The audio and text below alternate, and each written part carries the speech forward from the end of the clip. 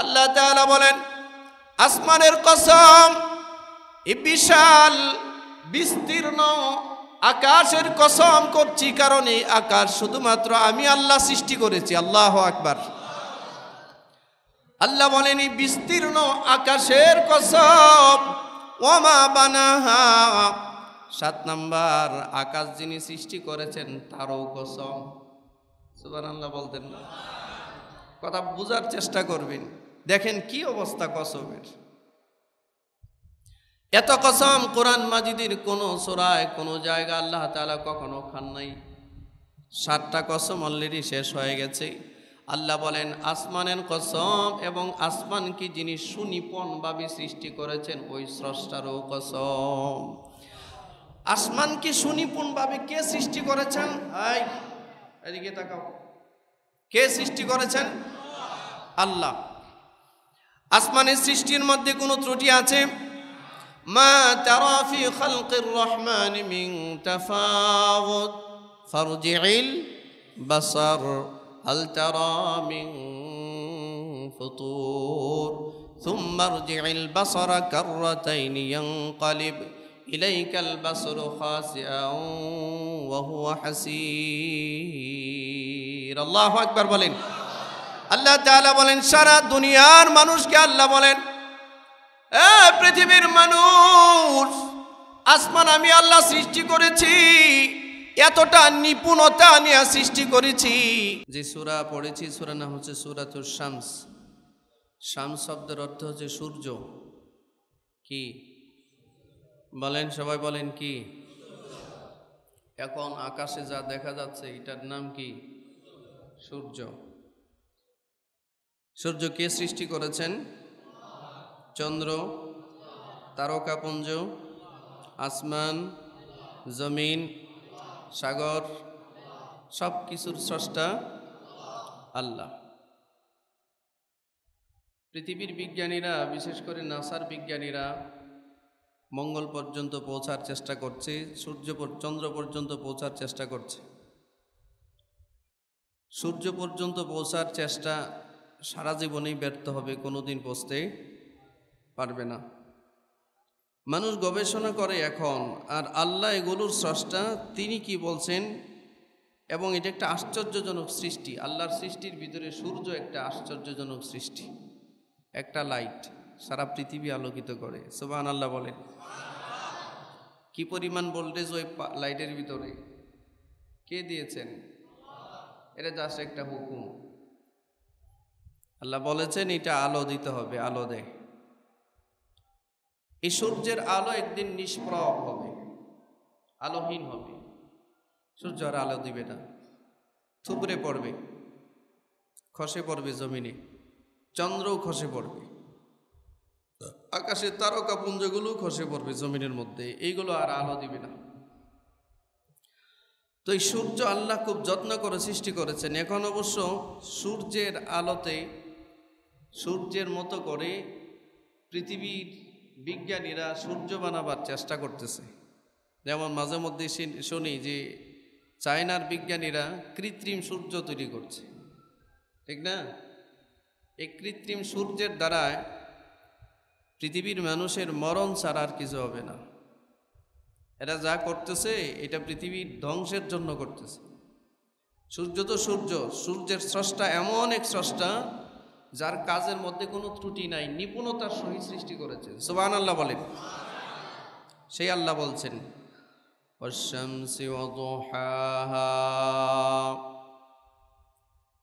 সূর্যের কসম এবং সূর্যের যে কিরণ আছে, আলো আছে, তারও কসম। দেখেন, আল্লাহ কসম করছেন। কসম বুঝেন তো, কসম।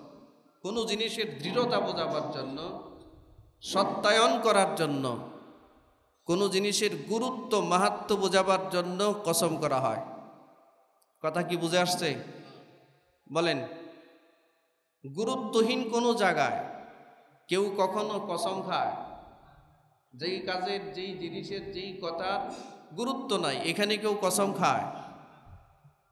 আর কসম কারা খায়? যাদের কাছে কিছু সন্দেহ তৈরি হয়, ঠিক না? কোনো কাজ কসম ছাড়াও যদি আল্লাহ বলেন, এই এই বলা কথাটার মধ্যে সন্দেহ করার কোনো সুযোগ আছে? নাই। তথাপিও আল্লাহ কসম করছেন, যেহেতু কসমের সাথে মানুষের একটা যুগসূত্র আছে, মানুষ এটা বুঝে, গুরুত্ব বুঝে এই জন্য বলছেন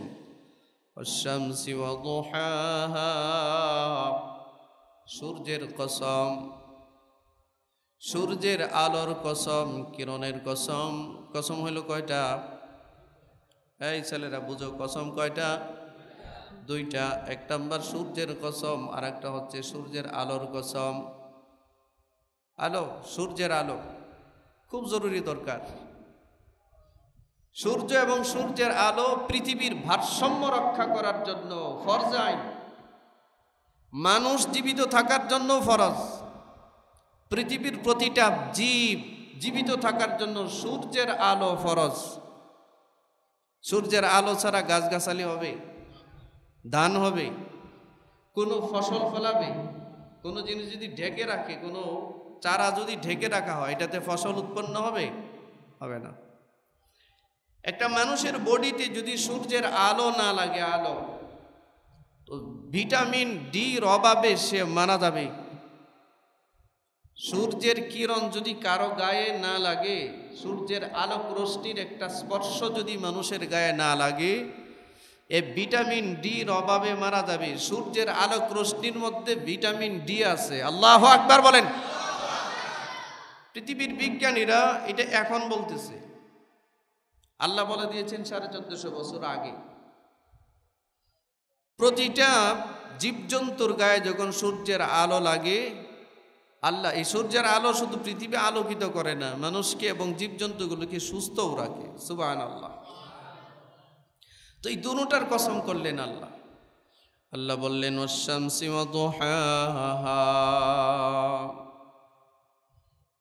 সূর্যের কসম, সূর্যের আলোর কসম, কিরণের কসম।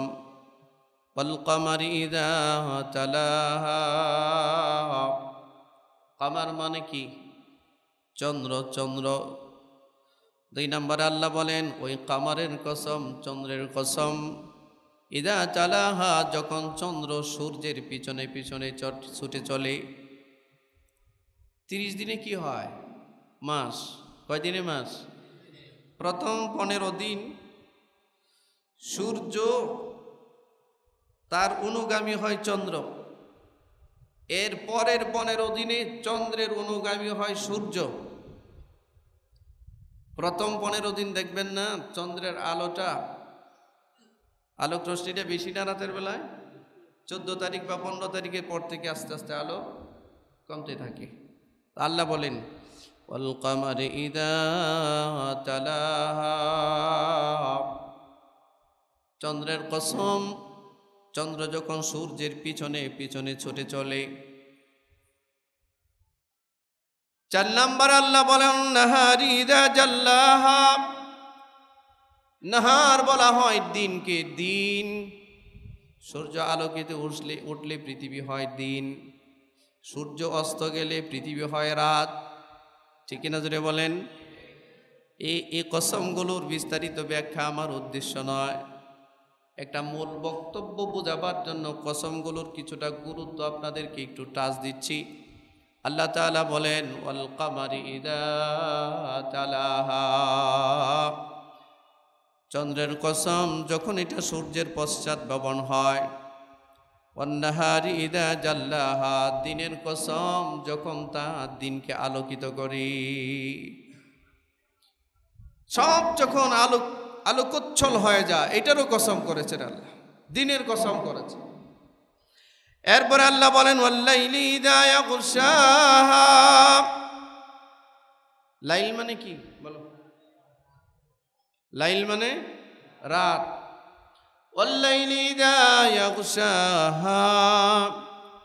আল্লাহ তালা বলেন, রাতের কসম যখন এই রাত সারা দুনিয়াকে অন্ধকারে আচ্ছন্ন করে দেয়, রাত মানে কি?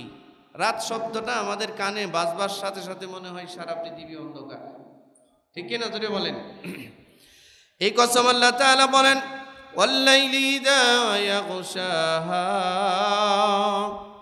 রাতের কসম, রাত যখন সব কিছু আচ্ছন্ন করে ফেলে, কসমগুলো একটু গনে রাখতে হবে আপনাদের। এক নাম্বার কসম অশাম শিব দোহাহা শামস মানে সূর্যের কসম, দুই নাম্বার ওয়াদুহাহা সূর্যের সকাল বেলায় কিরণের কসম, আলোর কসম তিন নম্বরে, ওয়াল কামারি ইদা তালাহা। চন্দ্রের কসম, চন্দ্র যখন সূর্যের পিছনে পিছনে ছুটে চলে। চার নাম্বার, ওয়ান নাহারি ইদা জাল্লাহা। ওই দিনের কসম, দিন যখন পৃথিবীকে আলোকিত করে। আল্লাহ একবার বলেন। কয়টা গেল? কয়টা? পাঁচ নাম্বার ওয়াল্লাইলি ইদা ইয়াগশাহা। রাতের কসম, রাত যখন সারা পৃথিবীকে অন্ধকারচ্ছন্ন করে, আচ্ছাদিত করে, কয় নাম্বার গেল? ছয় নাম্বার ওয়াসামা বানাহা। শব্দের অর্থ হচ্ছে আসমান, সামাউন শব্দের অর্থ কি? আল্লাহ বলেন, আসমানের কসম এই বিশাল, বিস্তীর্ণ আকাশের কসম করছি কারণ এই আকাশ শুধুমাত্র আমি আল্লাহ সৃষ্টি করেছি, আল্লাহ আকবার। আল্লাহ বলেনি বিস্তীর্ণ আকাশের কসম ওমা বানাহা। সাত নাম্বার, আকাশ যিনি সৃষ্টি করেছেন, তারও কসম। সুবান আল্লাহ বলতেন কথা বোঝার চেষ্টা করবেন। দেখেন কি অবস্থা কসমের। এত কসম কোরআন মাজিদের কোনো সোরায়, কোনো জায়গা আল্লাহ তালা কখনো খান নাই। সাতটা কসম অলরেডি শেষ হয়ে গেছে। আল্লাহ বলেন, আসমানের কসম এবং আসমান কি যিনি সুনিপনভাবে সৃষ্টি করেছেন, ওই স্রষ্টারও কসম। আসমান আসমানকে সুনিপুণভাবে কে সৃষ্টি করেছেন? এদিকে তাকাও। কে সৃষ্টি করেছেন? আল্লাহ। আসমানের সৃষ্টির মধ্যে কোনো ত্রুটি আছে? ما ترى في خلق الرحمن من تفاوت؟ فارجع البصر هل ترى من فطور؟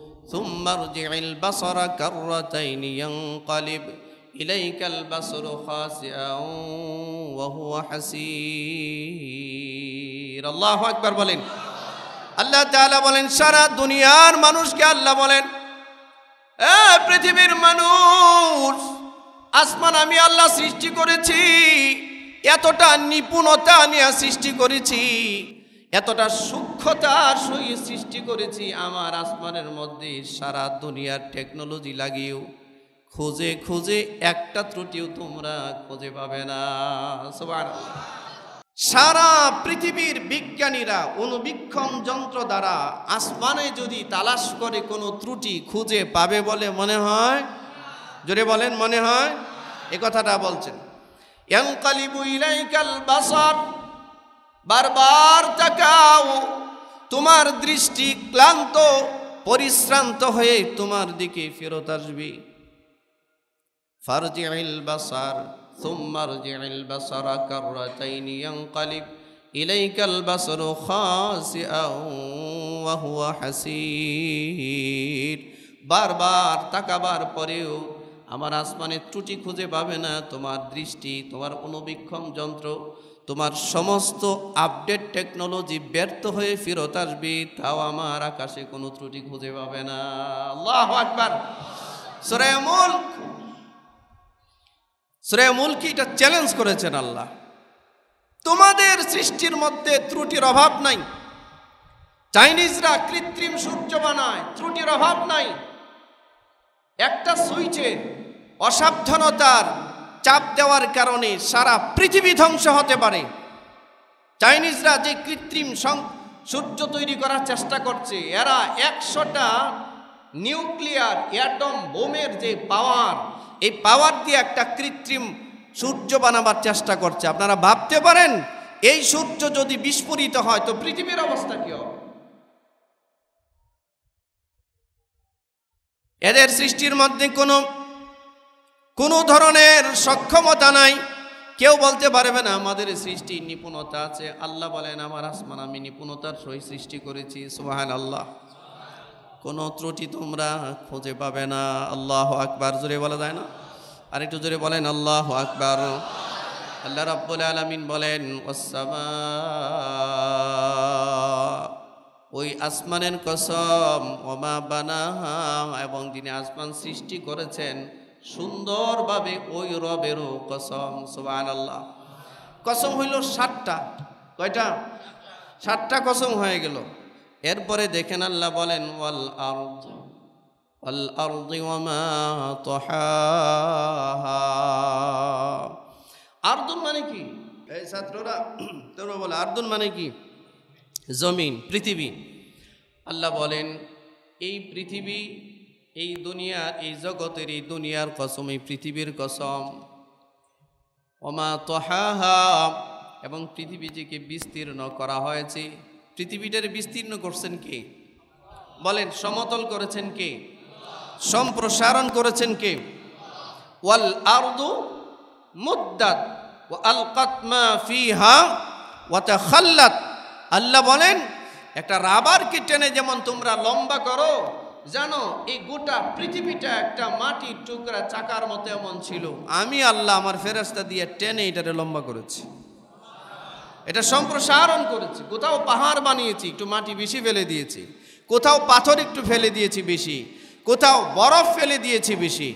কোথাও কয়লা ফেলে দিয়েছি বেশি। কোথাও পানি রেখেছি বেশি। এভাবে আমি পৃথিবীকে সম্প্রসারণ করেছি। আল্লাহ আকবার বলেন। তারপরে আল্লাহ রাব্বুল আলমিন বলেন, কসম গেল আটটা, কয়টা গেল? ونفس وما سواها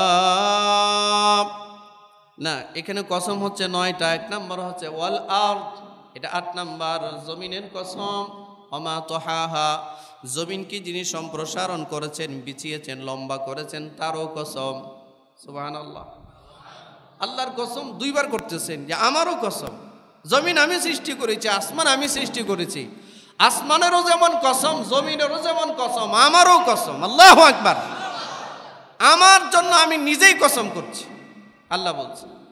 এরপরে বলেন অনাফসি মানুষের কসম, আত্মার কসম, নফসের কসম অমা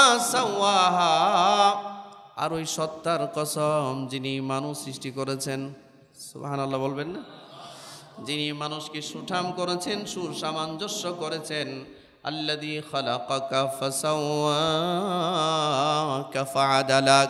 আল্লাহ বলেন, মানুষ আমি আল্লাহ সৃষ্টি করেছি, ফাসাওয়াকা ফাআদালাক, সুসামঞ্জস্য করেছি, সুঠাম দেহের তৈরি করেছি। সুবহানাল্লাহ। আল্লাহ রাব্বুল আলামিন বলেন, এতগুলো কসম করার পরে আট অনাফস, নাফস মানে মানুষের কসম।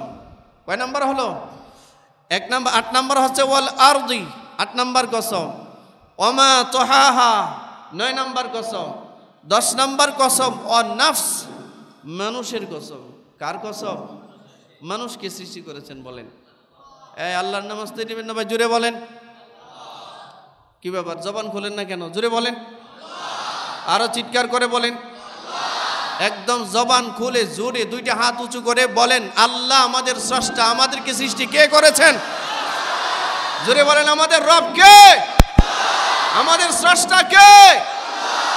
আল্লাহ, আল্লাহর নাম আসতে বলবেন না কখনো। মুসলমানরা আল্লাহ তাআলার নাম আসতে বলার কারণে সারা দুনিয়ার রাম, বাম যারা আছে, এরা এখন মুসলমানদের চোখের সামনে অস্ত্র গোড়ায় কথা বুঝতে পেরেছেন? আর দেখবেন না, আল্লাহর নামের উচ্চারণটা শয়তান কিন্তু পছন্দ করে না। শয়তান মার্কা কিছু মানুষও আছে, এরাও এটা পছন্দ করে না। মাহফিলের অনুমতি দেয়, কিন্তু এটা আবার বলে দেয় যে সাবধান, কোনো স্লোগান টোগান যেন না হয়। কোনো তাকবির যেন না হয়। আচ্ছা আজানের স্লোগান শুনলে দৌড়ায় কে? জুড়ে বলেন। তাহলে তাকবির শুনলে তোমার এত মাথা ব্যথা কেন? আসমান জমিনের এমন কোনো জীব নাই।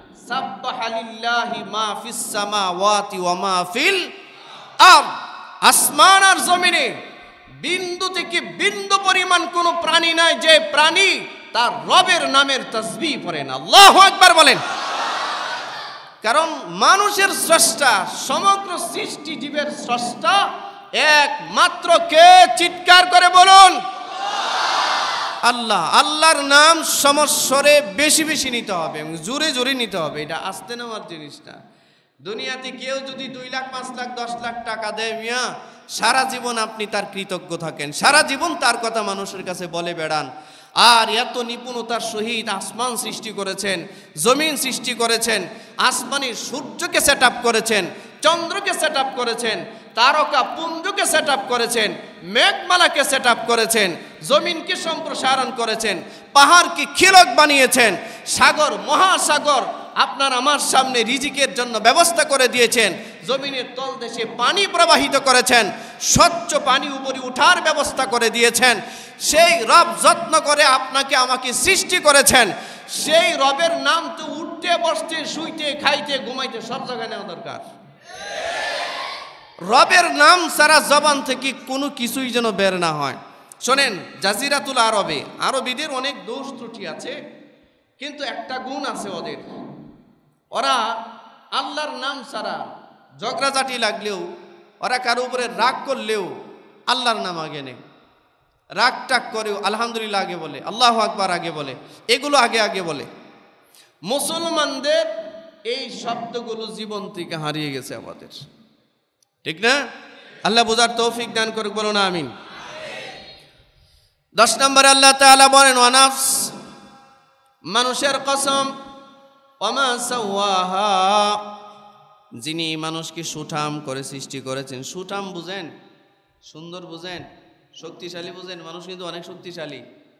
যদিও বা সৃষ্টিগতভাবে দুর্বল এক প্রাণী কিন্তু এমন কৌশল আল্লাহ তাকে সৃষ্টির শিক্ষা দিয়েছেন যে সারা পৃথিবীর শক্তিশালী প্রাণীরা মিলেও তার সাথে পারে না।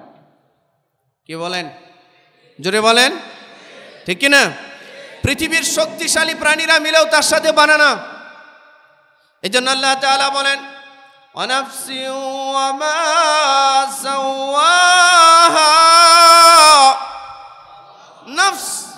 মানব জাতির কসম, মানুষের আত্মার কসম।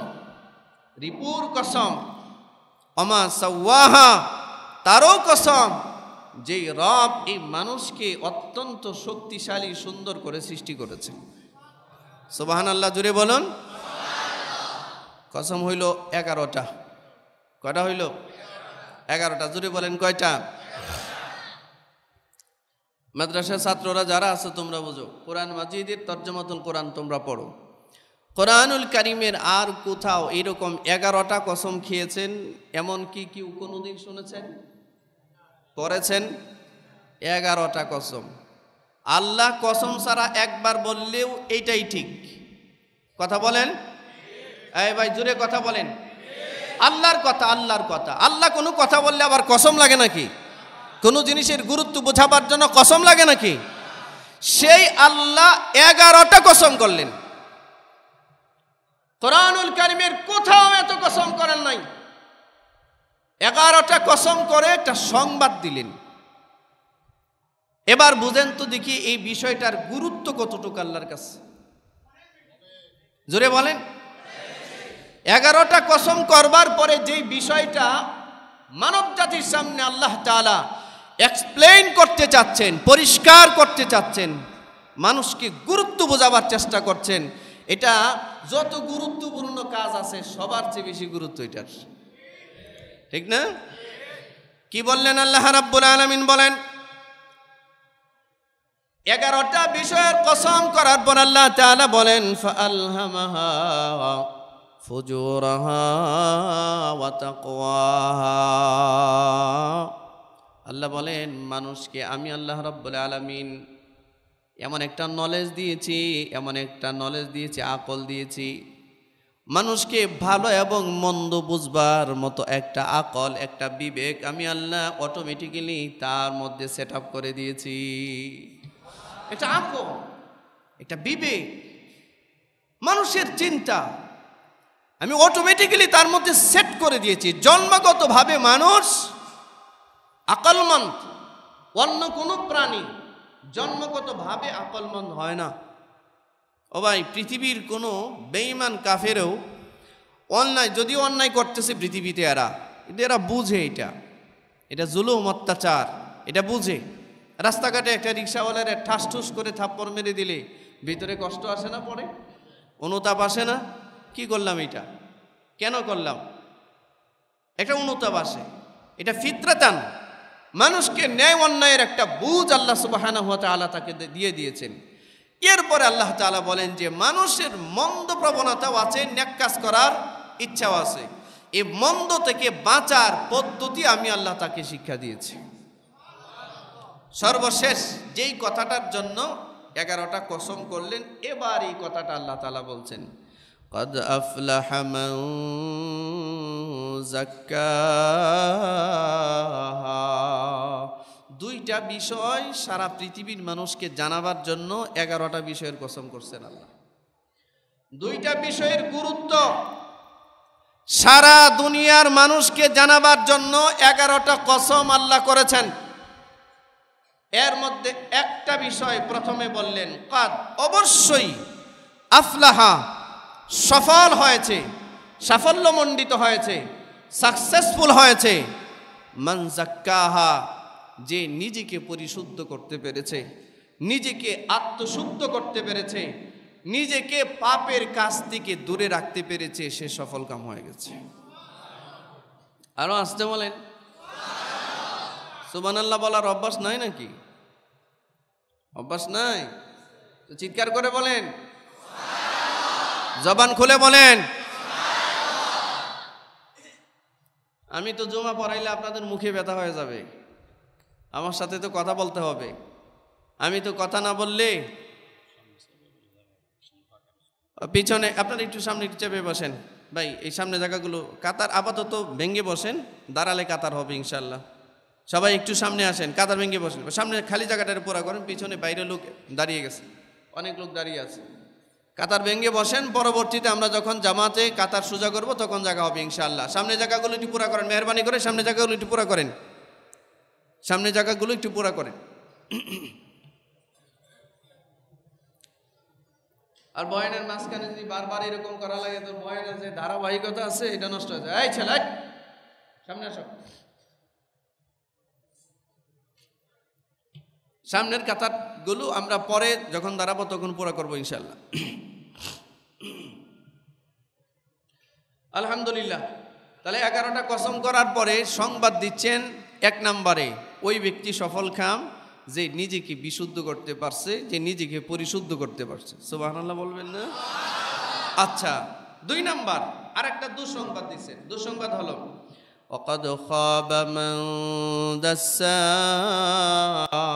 অবশ্যই খাবা ধ্বংস হয়ে গেছে।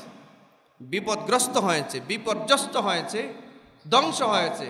মান্দাসাহা যে নিজেকে কলুষিত করেছে, কলঙ্কিত করেছে, পাপের আছর, দাগ যার জিন্দিগিতে লেগে গেছে, পাপের সাগরে যে নিমজ্জিত হয়ে গেছে, সে নিজেকে ধ্বংস করে দিয়েছে।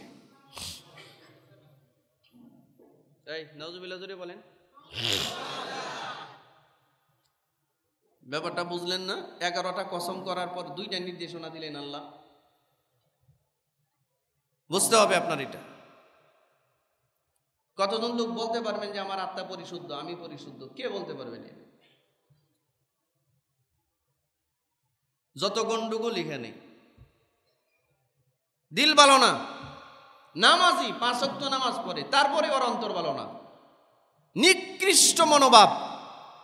কারও প্রতি কোনো ভালো সুধারণা সে রাখেই না। সব জায়গায় সমস্যা, সারা পৃথিবীর দিকে তাকিয়ে দেখুন, যত সমস্যা দিলে মানুষের আত্মা নষ্ট হয়ে গেছে। আর আল্লাহ বলেন যে নিজেকে পরিশুদ্ধ করছে, পরিশুদ্ধ, বিশুদ্ধ করছে, এ সফল কাম হয়ে গেছে। সারা পৃথিবীতে রমজান মাসে নিত্যপণ্যের দাম কমে। বাংলাদেশে পঁচানব্বই পার্সেন্ট মুসলমানের দেশে নিত্যপণ্যের দাম, যা রমজানের আগে থেকে পঞ্চাশ টাকা, এটা হয় দেড়শো টাকা। না ঠিক আরও আসতে বলেন? তাহলে আত্মার কি অবস্থা? এই ব্যবসায়ীর আত্মার কি অবস্থা? সে আবার রমজানে নিত্য পণ্যে একশো কোটি টাকার ব্যবসা করে, সাথে সাথে হজের রেজিস্ট্রেশন করে ফেলছে। অলরেডি হজে যাওয়া হয়ে গেছে। চলে গেছে অনেকে। আত্মার কি হালত?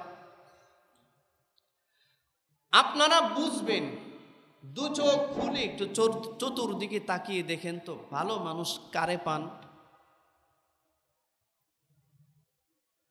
কোন দোকানদারের কাছে যাবেন যে এর কাছে ধোকা নাই, বলেন ধোকা নাই, প্রতারণা নাই? কোন সেক্টরে কার কাছে যাবেন যে এর কাছে দুই নাম্বারই নাই? বলেন। সব জায়গায়। সব সেক্টরে যত ধরনের গান্ধীগি আর পচা দুই নাম্বারই যা আছে সব মুসলমানদের হৃদয়ে এখন ঢুকছে। এ কারণে মুসলমানদের দেশ রাস্তাঘাট বাড়ি ঘর সব ময়লা আবর্জনায় ভরা। আর খ্রিস্টানদের দেশের দিকে তাকায় দেখেন। ইউরোপের যে কোনো একটা দেশের দিকে তাকিয়ে দেখেন। একটা পাগলও রাস্তার মধ্যে কোনো ময়লা ফেলে না। আর বাংলাদেশে পঁচানব্বই পার্সেন্ট মুসলমানের দেশে একশো টাকা সিটি কর্পোরেশনের কামলারে দিবে কর্মচারীরে দিবে একশো টাকা যেন দিতে না হয় ছয় তালার উপর থেকে একদম ঠিক রাস্তার মাঝখানে দলা করা ময়লা ফেলে ঠিক আসতে বলেন কেন? আপনাদের এলাকার রাস্তাঘাট দেখলে তো আর এটা বলার কোনো প্রয়োজনই নাই দরকারই নেই। আপনারা ঢাকা সিটির ভিতরে যান। সিটিতে গিয়া দেখেন এই হালত। কি অবস্থা মানুষ? আমার ভাইরা মানুষের হৃদয় যখন নোংরা হয়, মানুষের কল্প যখন নোংরা হয়, নষ্ট হয়, জগতের যা আছে তার জন্য সব নষ্ট। ওর কোনো ইবাদতে কোনো শান্তি খুঁজে পাবেন না। একটা নর্মাল এমপ্লয়ি থেকে শুরু করে, একটা চাকরিজীবী থেকে শুরু করে, একদম হায়ার লেভেলের চাকরিজীবী পর্যন্ত, দুই নাম্বার। যে কোনো সেক্টরে বলেন, যে কোনো সেক্টরে। যেই দুই চারজন মানুষ ভালো থাকতে চায়, যেই দুই চারজন মানুষ এই ধরনের হারাম থেকে বাঁচতে চায়, তাদের যে কত স্ট্রাগল করতে হয়, কত কষ্ট করতে হয়, কতজনের কথা শুনতে হয়, এটার কোনো সীমা নাই। একটা দোকানদার চায় যে, ভাই, মিথ্যা কথা বলে ব্যবসা করব না। তো এই যে যারা এসে মালটাল দিয়ে যায়, বলে যে, ভাই, এই সিস্টেম ছাড়া আপনি দোকান বন্ধ করে যান গা, ব্যবসা করা লাগবে না, যান গা। ঠিক না? ব্যবসা হালাল না হারাম? তাহলে ব্যবসায় এত ঝামেলা করে? খাদ্যে বেজাল খাদ্যে বেজাল বাংলাদেশের মতো পৃথিবীর আর একটা দেশও দেখাতে পারবেন না। পৃথিবীর নিকৃষ্ট দেশের মতো একটা দেশ আছে নিম্নমানের দেশের মধ্যে একটা দেশ আছে উগান্ডা। উগান্ডার মানুষও খাদ্যে এত বেজাল দেয় না। সুদান আফ্রিকার দেশ, সুদানেও খাদ্যে এত বেজাল দেয় না। বাংলাদেশের দাড়িওয়ালা, টুপিওয়ালা হাজি সাহরা যা করে।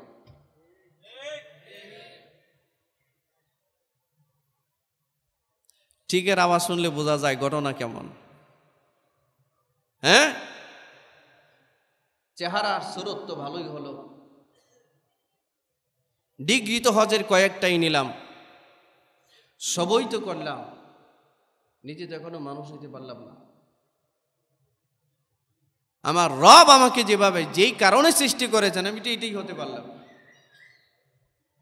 ভাই সমাজে এমনও মানুষ আছে দিনে যদি এক হাজার কথা বলে ফজরের পর থেকে নিয়ে রাত্রে ঘুমানো পর্যন্ত কথা যদি বলে এক হাজার এর মধ্যে নয়শো নব্বইটা বলে মিথ্যা কথা।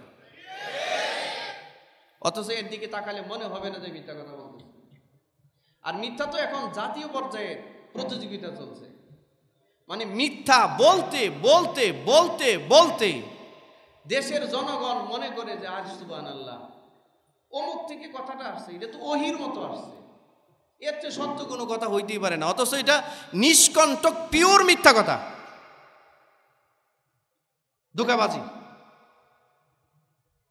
আমার ভাই, ইবাদতের কোয়ালিটি আর ইবাদতের কোয়ান্টিটি আমরা যেগুলো বুঝি, আল্লাহ সুবাহান আলার কাছে ইবাদতের কোয়ালিটির গুরুত্ব সবচেয়ে বেশি। ইবাদতের কোয়ান্টিটির গুরুত্ব আল্লাহর কাছে নাই। মানুষকে না ঠকায়া, মানুষের পরনিন্দা, পরচর্চা না করে মানুষের ক্ষতি না করে। মানুষ তো দূরের কথা। কোনো প্রাণীর ক্ষতি না করে। সৃষ্টি জগতের কাউকে কষ্ট না দিয়ে নিজের জীবন চালানোর মতো একটা সাধনা যদি কেউ করতে পারে, আল্লাহ বলেন সে বিশুদ্ধ হয়ে গেছে। সে পরিশুদ্ধ। আমরা আমাদের কথায় মানুষকে কষ্ট দিই। ভাই, রাগ করতেছেন নাকি? বলেন, কথায়ও যেমন কষ্ট দিই আচরণে মানুষকে এভাবে কষ্ট দিই। কথা বলেন। কথায়ও কষ্ট দিই, আচরণে কষ্ট দিই, লেনদেনে কষ্ট দিই, মানুষের সাথে চলাফেরায় কষ্ট দিই, কলম দিয়া লেখবার মতো হলে লেখা দিয়া কষ্ট দিই, ফেসবুকে কমেন্টস করার দরকার পড়লে কমেন্টস করে কষ্ট দেই। তাই না? আমার গত জুমায় একটা আলোচনা ছিল আমার ওই মসজিদে। ওখানে বলেছিলাম যে আমাদের দেশে একটা বিরাট একটা ফেতনা এখন এই মুহূর্তে চলতেছে। ফেতনা হইল আমাদের দেশের একজন গ্রহণযোগ্য ব্যক্তি শায়েক আহমদুল্লাহ। উনি ওনার কোথায় এক প্রশ্ন উত্তর পর্বরে হয়তো কোথাও বলেছিলেন। এটা স্লিপ অফ টাংও হইতে পারে। যেমনি হোক বলেছিলেন যে, আল্লাহ রসুল সাল্লাহ সাল্লাম চল্লিশ বছর আগে তো নবী ছিলেন না। এরকম বলছেন কথাটা, ঠিক কিনা? নবতী পেয়েছেন কয় বছর বয়সে? উনি কথাটা যে ভঙ্গিমায় বা যেইভাবে বলার চেষ্টা করছেন, এটা কিন্তু ওনার হৃদয়ে না। ওনার হৃদয়ের ধারণা কিন্তু এটা না। আমরা সবাই জানি সৃষ্টির সূচনা লগ্নেই মোহাম্মদ রসুল্লাহ সাল্লামকে আল্লাহ তালা নবী হিসেবে সৃষ্টি করেছেন। সোবান আল্লাহ শুধু তাই না, রুহ জগতে সমস্ত নবীদেরকে এবং সমস্ত মানব জাতি রুহগুলোকে মোহাম্মদুর রসুল্লাহ রুহের সাথে নবী এবং উম্মত হিসেবে পরিচয় করায় দিয়েছেন আল্লাহ। এটা তো আছেই। কিন্তু বাস্তবিক পক্ষে, বাস্তবতায় রসুল্লাহ সাল্লাহ সাল্লামকে ওহি নাজিল করেছেন নবীজির কাছে নবুয়ত প্রাপ্ত। যখন তিনি নিজেকে নবী বলে মানুষের কাছে প্রচার করা শুরু করলেন, পৃথিবীতে এসে, এই সময়টা ছিল চল্লিশ বছর বয়সে। বহুদিন মুরাকাবা, মুশাহাদা করার পর জিবরিল আমিন আসলেন ইকরা বিসমি রাব্বিকাল্লাযী খালাক। আয়াত নাজিল হলো, এরপর থেকে নবীজি বলা শুরু করলেন যে আল্লাহ আমাকে নবী বানিয়েছেন। আমি রসুল, আমি কালিমার দাওয়াত দিচ্ছি। ঠিক কি না? এটা উনি বলার চেষ্টা করেছেন। তো এইটাকে কেন্দ্র করে আমাদের দেশের আরেকজন খুব উঠে পড়ে লেগেছেন। আর একজনকে তার নাম আমি বলব না, আপনারা জানেন তারে, চিনেন। সবাই চিনি। আমাদের দেশের সিদ্দিক চুর যেমন ভাইরাল, সে এমন ভাইরাল। সিদ্দিক চুর চিনেন? সিদ্দিক চুর? ওই উত্তরবঙ্গের এক চুর আসিল, কোথায় জানি চুরি করছে, ধরা পড়ছে। ধরা পড়ার পর বলছে, কি করছ হ্যাঁ বলে, স্যার, ভুল হয়ে গেছে, আমারে মাফ করে দেন। ঠিক না? এ ভুল হয়ে গেছে, মাফ করে দেন বলে সারা দেশে ভাইরাল হয়ে গেছে। এখন সিদ্দিক চুর বিভিন্ন অনুষ্ঠানের সভাপতি হিসেবেও থাকে। কি আজীব ব্যাপার। আমাদের দেশে ভাইরাল যে একটা রূপ, এটা কত ভয়াবহ পর্যায়ে গেছে দেখেন। সিদ্দিক চোরের মতো মানুষ, একটা চোর, সে এখন বিভিন্ন সামাজিক সংগঠনের প্রধান। সে নাকি এখন নায়কও? সিনেমাও নাকি করে? বলেন তো দিকে দেশের মানুষের মস্তিষ্ক কি পরিমাণ পড়ছে? কি পরিমাণ ধ্বংস হয়েছে? আমার ভাইরা, যাই হোক, ইনিও কথাবার্তা বলেন। লোকটা মানসিকভাবে কতটুকু ভালো আছে আমি জানি না, তবে আমি যতটুকু শুনছি, ভালো মানুষই। কিন্তু এটাকে কেন্দ্র করে এমন এক তুলপার দেশের মধ্যে তৈরি করা হয়েছে। সারা দেশের মানুষ এখন একজন আরেকজনকে গালি দিচ্ছে, ঠিক না?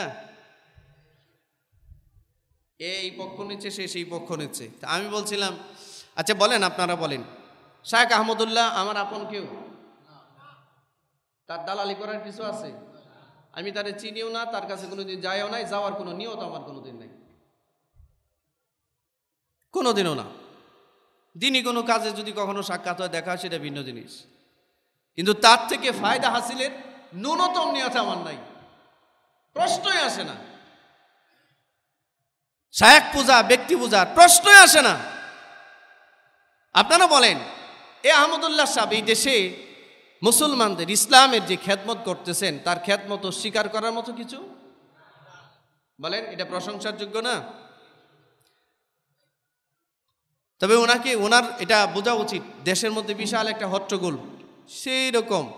আমি কথাগুলো বলার দ্বারা সুবান আল্লাহ কি গালিগুলো যে আমারে দিল।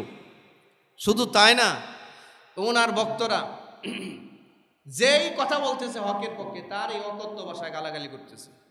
অসভ্য ভাষায়। শুধু তাই না, এটা কেন্দ্র না, যে কোনো বিষয়ে, যে যারে ভালোবাসে, তার বিপরীত মতামত যে পোষণ করে, তারে অকথ্য ভাষায় গালাগালি করে। আছে না? বলেন ভাই, মানুষের আত্মার রূপ কত দূর পর্যন্ত বাড়লে পরে এমন করে?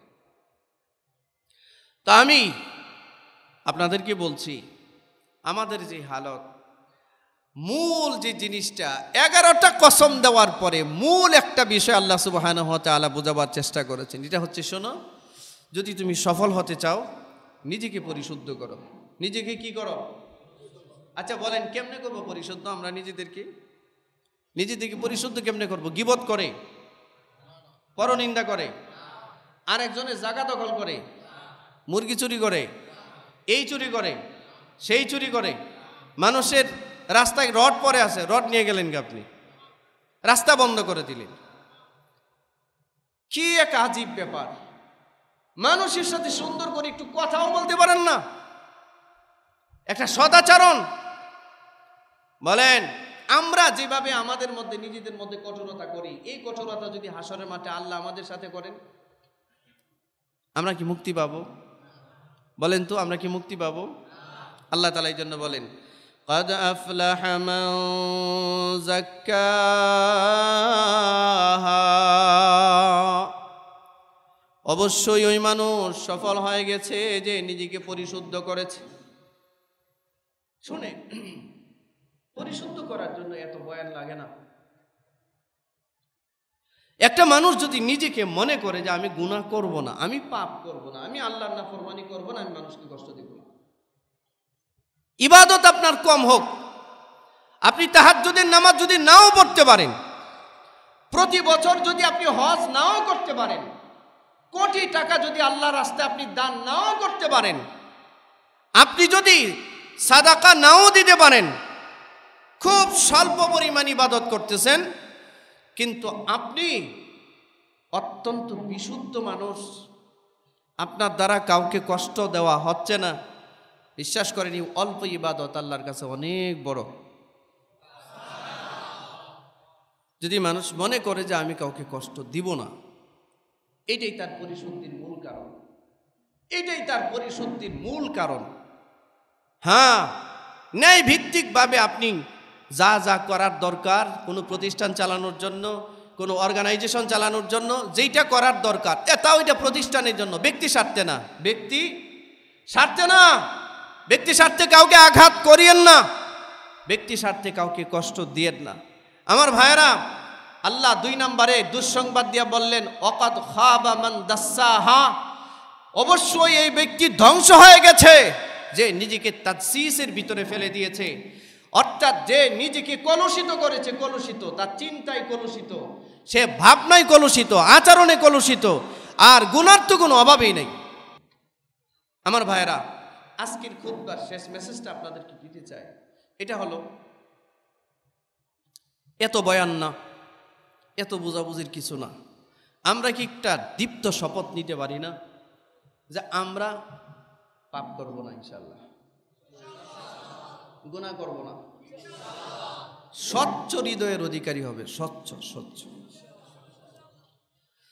হাদিস শরীফে আল্লাহ নবী বলেন ইন্নাল্লাহ লা ইয়ানজুরু ইলা সুওয়ারিকুম ওয়া আমওয়ালিকুম নিশ্চয় আল্লাহ তাআলা কোন মানুষের চেহারা তাকিয়ে দেখেন না আল্লাহ তাআলা কোন মানুষের মাল কত আছে এটা তাকিয়ে দেখেন না ولكن ينظر إلى قلوبكم وأعمالكم আল্লাহ তাকিয়ে দেখেন এই মানুষটার কলবের কি হালত তার আত্মার কি হালত? তার কলব পরিচ্ছন্ন আছে কিনা? বিশুদ্ধ আছে কিনা?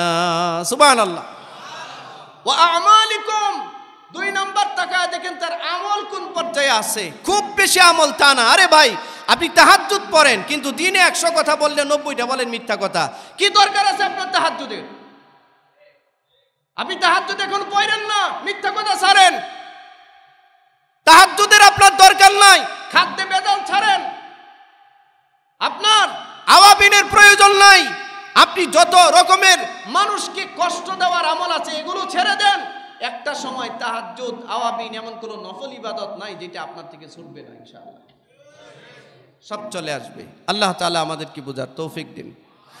আমরা কি চেষ্টা করব ইনশাল্লাহ এতটা বলেন, কারোর প্রতি বিদ্বেষ রাখব না। বিনা কারণে কষ্ট দিব না, ইনশাআল্লাহ। নিজেকে বিশুদ্ধ করব ইনশাআল্লাহ। আমল যা করি সবটুকুন করব কার জন্য? আল্লাহ তৌফিক দান করুন, বলুন আমিন। আমার ভাইয়েরা, এগারোটা বিষয়কে উত্থাপন করে আমার সময় স্বল্পতার কারণে আর আমি একেবারে কি বলে আনপ্রিপারেড আজকে এখানে জমা পড়ানোর জন্য আমি প্রস্তুত ছিলাম না। হঠাৎ করে সকালে মনে হলো না মাদ্রাসায় যাব আজকে, জুমা পড়াবো ঘুম থেকে উঠি চেয়ারম্যান সাহেবরা ফোন দিচ্ছি, বলছি, ভাই, আমি আসতেছি, আমি জুমা পড়ব মাদ্রাসায়। মনে হইল, জানি না কেন আনপ্রস্তুত অবস্থায় আনপ্রিপারেড অবস্থায় কিছু কথা বললাম।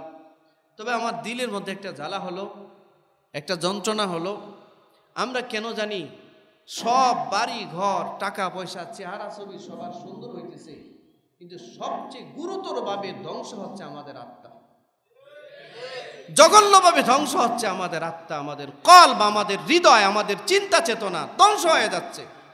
মানুষকে একটু সামান্য উপকার করবার মতো মানসিকতা আমাদের ভিতরে তৈরি হয়। ভাই, এই ছোট ছোট আমলের দ্বারাও আল্লাহ বান্দারে মাফ করে দিতে পারে। যার হৃদয় সুন্দর, তার বাইরের আমলও আল্লাহ সুন্দর করে দেয়। যার হৃদয় ভালো না, বাইরের চেহারা, বাইরের যা কিছুই, যত সুন্দরই হোক রব্বে কাবার কাছে তার কোনো গুরুত্ব নাই। আল্লাহ আমাদেরকে ভিতরে সৌন্দর্যতা আনবার তৌফিক দান করুন আমাদের হৃদয়কে আল্লাহ তালা নফসে মুতমাইন্না করার তৌফিক দান করুন, বলুন আমিন।